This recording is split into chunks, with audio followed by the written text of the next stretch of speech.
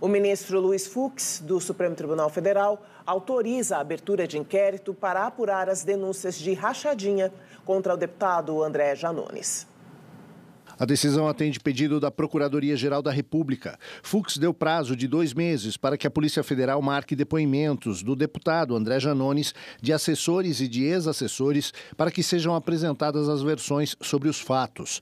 Além disso, o ministro Fux requisitou, junto à Câmara dos Deputados, documentos funcionais e relatórios de frequência e salários dos servidores do gabinete de Janones.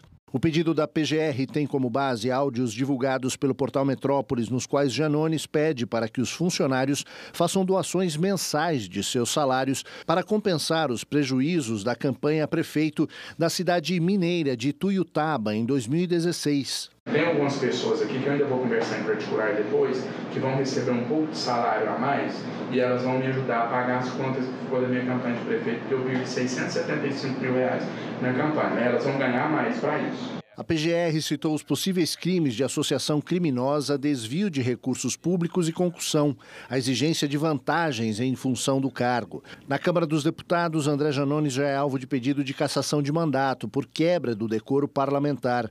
Na decisão, Fux observou que a abertura de uma investigação é um ato meramente formal e não significa juízo de condenação do deputado.